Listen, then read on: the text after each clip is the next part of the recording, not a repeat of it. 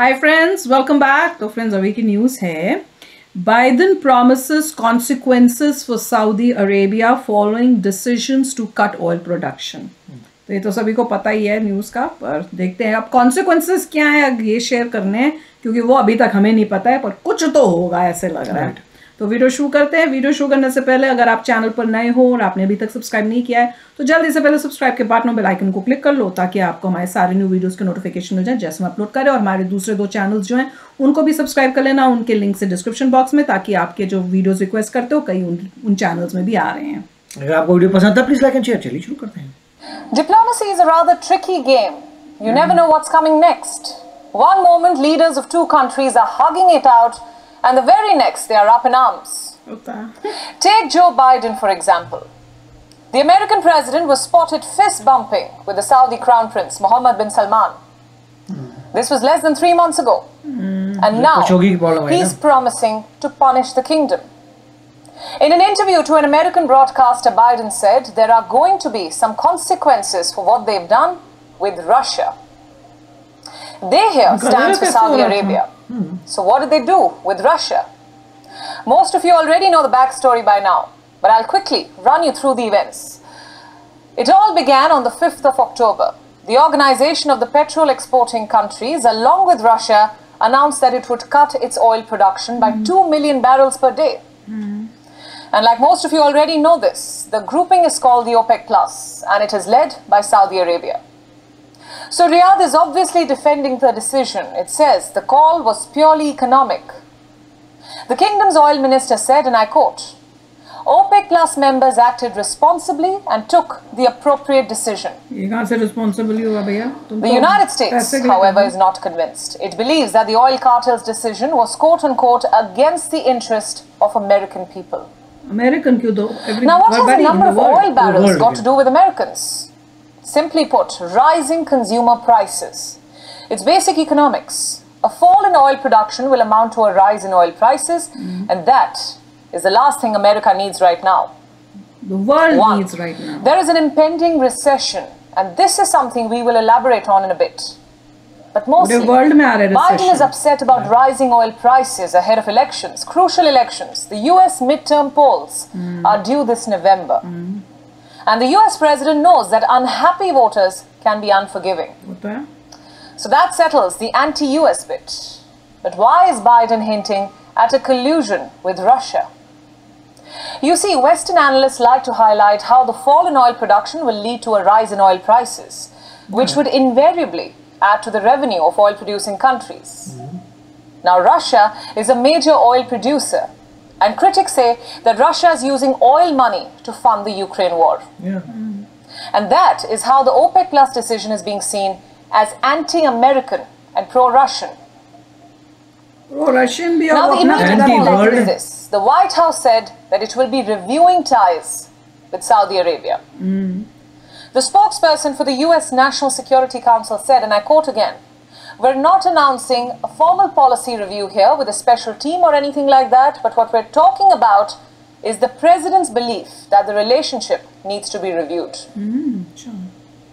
And you already heard what Biden had to say. He did not elaborate what exactly he had in mind, but instead said, and I'm quoting again, I'm not going to get into what I'd consider and what I have in mind, but there will be consequences. That's what made headlines. So, quite a mixed signal here. There will be rethinking and reviews, but there will not be a formal policy announcement. जो भी है वो तो they're not going to tell you the world Consequences, हाँ, world but को at the तो same बताएंगे तो अपना time, अंदर we से don't करेंगे know जब what करना the होगा। Biden administration पहली is वार्निंग considering at पट the मिल जाए moment. उनको पब्लिक को What थोड़ा are पता these चलेगा consequences? Let me explain. You see, America's ties with Saudi Arabia have not been the best under Joe Biden. Remember, he even campaigned on the promise of making Saudi Arabia a pariah state. He said his administration will make Riyadh pay for the assassination of journalist Jamal Khashoggi. But when Biden was elected president, he flew down to Riyadh to offer an olive branch to the Saudi Crown Prince Mohammed bin Salman, MBS. He even did a little fist bump, an image we've seen repeatedly. And now, three months on, he wants to do a complete U turn. The relationship between the two countries can best be defined as one for security. Let me explain. Saudi sells oil to the US and America sells arms.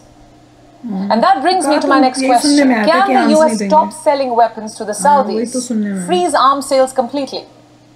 Well, some Democrats are already demanding that. But will Biden oblige?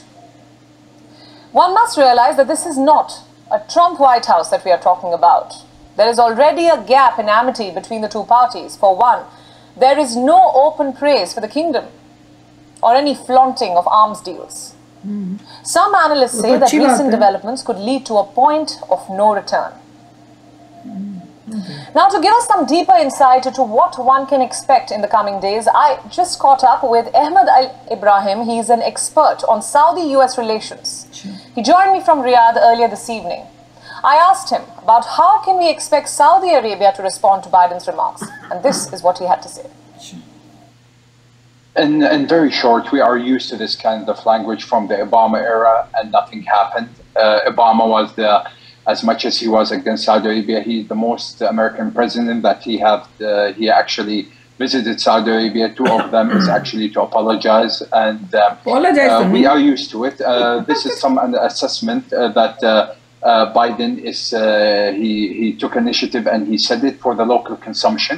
As you know, and your viewers know that yeah. we are approaching the midterm election, and the OPEC really? Plus reduction came time. Not to politicize any American uh, or anything to do with America. It is basically pure for the interest of the OPEC Plus, but it did not resonate well with the internal politics of uh, of the United States, especially the Democratic Party and the extreme left and we are used to it. I'm sure when he go back and he sit with his uh, national security advisor and his cabinet and the people who really matters and really know what kind of relationship Saudi Arabia has and the United States, they will definitely shy away from this kind of Oh, uh, okay. statement. You heard him. He clearly says that Saudi Arabia is used to this narrative since the Obama era. Oh, okay. Now, here's the next big question something that should interest our American viewers more. What does this turn of events mean for Biden? For starters, it is a diplomatic failure. All that jetting in and out of Riyadh, the fist bump, all of it clearly amounted to nothing. It is a foreign policy failure for the Biden White House. In fact, one of its many foreign policy this is probably failures. for Indian. And it comes too close to the hasty exit from Afghanistan, or even for that matter, the escalation of tensions with Russia. Point number two rising oil prices could mean an electoral defeat for Joe Biden. It could amount to loss of Congress seats. So here's a question Will a weaker Biden be a dangerous Biden? As he loses votes in the midterms, will Biden try to secure this re election by waging a war? It's a loaded question. After all, no US president has lost a re election during wartime. Let me cite some examples. James Madison was re-elected during the War of 1812. President Lincoln during the Civil War. Roosevelt during the Second World War. Richard Nixon during the Vietnam War. George W. Bush was re-elected during the Iraq and Afghanistan wars. So if Biden loses the midterms, what will be his strategy to cling on to power? We asked this question to Lieutenant Colonel Daniel L. Davis. He is a defense expert and I want you to listen to what he said. there's so many things that could change between now and then. It's hard to say what he would do after if he loses. But I mean, the, the near term issue is very clear that you know, there's a lot of anger, especially in Congress, wanting to uh, suspend all military cooperation, stop all military assistance, uh, and basically completely change the nature of the relationship between Saudi Arabia and the United States, regardless of how the midterms come out. So I, am not sure that the midterms are mm-hmm. quite as big of an issue, mm-hmm. certainly not on the other side, uh, because they're an issue right now. Because the you know any kind of rise in oil prices means a rise in gas prices, and that is always bad for the incumbents. Correct. That's always bad. There's anger in Congress, Everybody. Says, and that should sum up what you should be expecting in the coming days. It's a story that we will continue to track. तो friends बात तो ठीक है कि भाई जो Biden actions तो लेंगे। और मेरे हिसाब से तो मैं कहूँगी क्यों नहीं लेगा? कोई भी कंट्री जिसको दिख रहा है कि भाई हमारे ऑयल के प्राइसेस बढ़ रहे हैं क्योंकि वो चाल चल के कट कर रहे हैं सिर्फ़ तो अमेरिका नहीं, पूरे world पूरे वर्ल्ड में इफ़ेक्ट होगा। और अगर तो, कोई और प्रेजेंट होता तो वो क्या उखाड़ लेता? पॉइंट तो यही है कि फ़र्क नहीं होता। ओपेक ने डिसीज़न मेक किया उन्होंने इसलिए मेक नहीं किया क्योंकि मिस्टर बाइडन पावर में थे। उनको अपना अगर कोई और पार में होता तो भी वही डिसीज़न लेते तो और कि पहले भी कितनी बारी ऐसे सिचुएशंस में किया है उन्होंने ये पहली बारी थोड़ी कोई कर रहे हैं कि जब ज़रूरत पड़ती है ये बोल देते हैं कि हम तो कम बनाकर निकालेंगे। फिर प्रॉब्लम्स क्रिएट होती हैं पूरे वर्ल्ड के लिए। और इस बारी तो उनको इतना अच्छा मौका मिला हुआ है कि हम और इस टाइप से करें। और जैसे ये कह रहे थे कि फिस्ट किया वो करा और उसके बाद भी नहीं उसके चला। बाद जो है जब फिस्ट हम्म। बम्प किया था तो उन्होंने कहा था वो तो मेरा मीटिंग का जेस्चर है। हाँ, कोरोना वायरस की वजह से अब हाथ नहीं मिला रहे कोरोना वायरस में बम्प करते हैं। तो हाँ। पहले उन्होंने ये क्लैरिफाई किया हाथ नहीं मिलते कोरोना वायरस में बम्प होता है। फिर कहा कि मैंने उसे कन्फ्रंट किया उनके प्रिंस को। कहा कि मिस्टर कशोगी की वजह से जो भी हुआ था वो गलत था। और साफ़ साफ़ बात हुई। उसके बाद रिलेशनशिप थोड़े खराब हुई यस हुए। उसका नज़र आ रहा है आपको। तो ऐसा नहीं है। मेरे ख्याल से बाहर के लोगों को इन्फॉर्मेशन नहीं पता यहाँ पे क्या हो रहा है।